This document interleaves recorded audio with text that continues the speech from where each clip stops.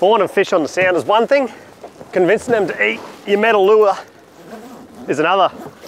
There's so many different retrieves and so many jigging techniques around these days. Slow pitch jigging, high speed jigging, just vertical jigging, soft plastic jigging. You can jig all day, all sorts of jigs. You just got to match what the fish wants. A few different retrieve styles, whether it be fast and erratic or very slow. It just pays to match it up. And once you get them biting, you know what style to use and there's even different style jigs, different profiles and different shapes to accommodate for the, the, the style retrieve that you might need to get one of these cracking fish to bite.